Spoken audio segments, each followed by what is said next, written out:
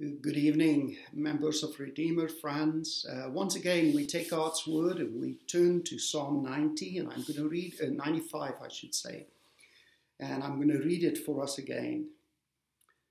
Oh, come, let us sing to the Lord, let us make a joyful noise to the rock of our salvation. Let us come into his presence with thanksgiving. Let us make a joyful noise to him with songs of praise. For the Lord is a great God and a great King above all gods. In his hand are the depths of the earth. The height of the mountains are his also. The sea is his, for he made it, and his hand formed the dry land. O come, let us worship and bow down, let us kneel before the Lord our Maker. For he is our God, and we are the people of his pasture, the sheep of his hand. Today, if you hear his voice, do not harden your hearts. As at Meribah, as on the day at Massah in the wilderness, when your fathers put me to the test and put me to the proof, though they had seen my work. For forty years I loathed that generation and said, They are a people who go astray in their heart, and they have not known my ways. Therefore, I swore in my wrath, they shall not enter my rest. Now, we began yesterday to look at this psalm and we uh, looked at these two different notes the one jubilant and enthusiastic praise, and the other a somber reflection that receives God's instruction with a believing heart. Now, we got to the end of verse 5 yesterday, and so I want us to continue. Now, this is still part 5, uh, 6, and 7 uh, are uh, 7a is still part of the, the joyful expression. But here, uh, uh, it verses 1 through 5 talks about singing the, the praises of the Lord. And here we're introduced to a more reverential uh, aspect of our worship. Not only exuberant joy, but we need to bow. We need to go on our knees in the presence of the Lord. We need to enter the presence of our King humbly that's very important here. Oh, come, let us worship and bow down. Let us kneel before the Lord our Maker. The, the call here is not for a literal kneeling, although that's not to be excluded, of course. But it is really the kneeling and the, the, the attitude in worship should be one that is worshipful. It's reverence and humility, acknowledging God for who He is and accepting our place. God's not serving us, we're serving Him. God's not the one who caters to our needs and our desires. He is not the one who serves us, but we serve Him. And in worship, we acknowledge that relationship. We acknowledge that the relationship we have with God is not our doing. He is the one who makes us who we are as the people of God. We are totally, totally dependent upon Him. Uh, we looked at these words, similar words in Psalm 100 in terms of Exodus 19, where God tells us how He bind uh, uh, bound Israel to himself and how he made them into a nation. And in uh, our Christian lives, it's the same thing. The church exists because Christ paid the price for his people. And here we acknowledge, for he is our God. The reason we worship, the reason we bow down before him is because he is our God. And just for a moment, remind yourself what our God did. Our God, in Jesus Christ, humbled himself and did not consider equality with his Father something to be grasped, to be held on to, to be used for his own advantage. No, he emptied himself of all the divine glory that belongs to him, and he took on our nature and became like us in every way, so that you and I may be saved, that our sins may be forgiven, that we may be restored to fellowship with God. Do you see what it is to acknowledge this, that He is our God? It's not something that you have done or I have done, it's something that fully depends upon His work. He is our Maker, not merely in the sense of our Creator, but in the sense of our recreation. He made us. And He cares for us. We are the people of His pasture. Everything you and I need, He provides. We live out of His hand. We live out of His care, like sheep. We are fully dependent upon Him. But more than that, we are the sheep of His hand. He personally takes care of us. And how much more personal can it be than to remember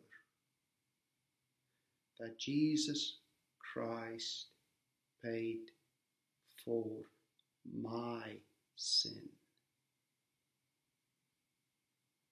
My sin. Can you say that? He didn't pay for sins in general, as a category. He paid for David's adultery and murder.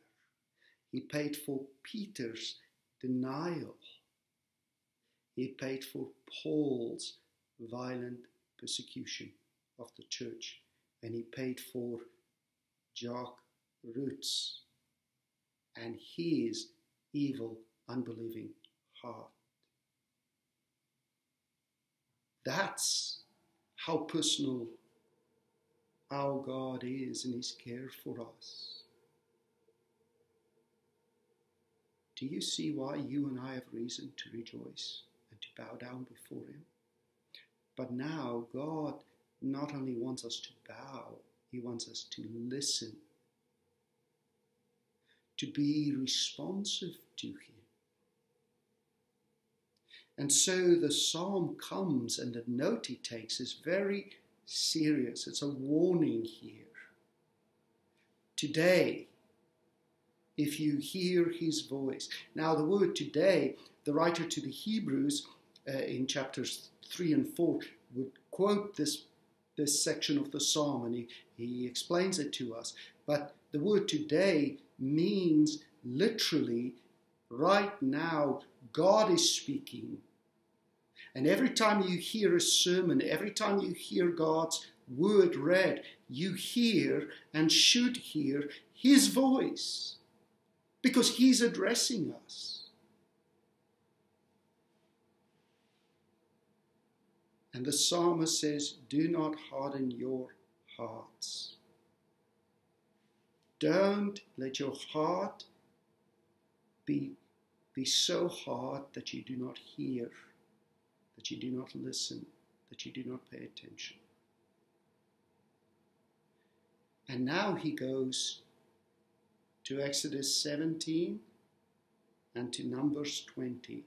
The beginning of the 40 years and the end of the 40 years. Two very similar passages where the Israelites come to a place and there is no water and they complain, they quarrel with God, they test God. That's what uh, Meribah and Massah means testing and quarreling, quarreling and testing. And God speaks to Moses in the first episode in Exodus 17 and say, Hit the rock and I will give them water. And he hits. And he says in the second one, Don't hit the rock and I will give them water. But Moses is so mad and he says to the people, I will give you water. Or do you want me and Aaron to give you water? And he hits the rock. He disobeys God. But God gives them water. But because of that, Moses and Aaron will not enter the promised land. And all of the Israelites who did not believe the testimony of the spies when they come back to tell them about the glory of the promised land, did not want to take God at his word. God said, You will all die in the wilderness, you won't enter my rest. Which is, for the Israelites here, God's rest would be the promised land.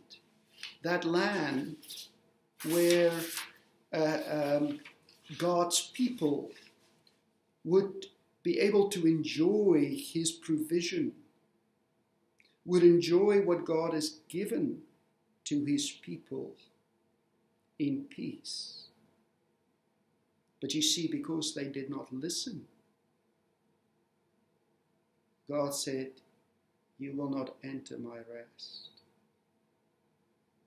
These people go astray from me in their hearts, and they have not known my ways. They were unresponsive to the word of God. They didn't take God at His word and trust Him and obeyed Him. Now, there's a subtle switch that took place in these words. Did you notice? The psalmist speaks Today, if you hear his voice, do not harden your hearts.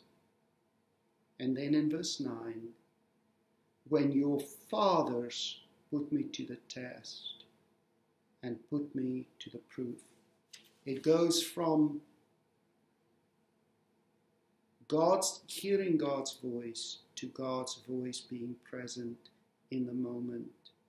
And God's voice is always present when His word is open. So the question to you and I always is do you hear the voice of the Lord? And are you responding and listening to his voice?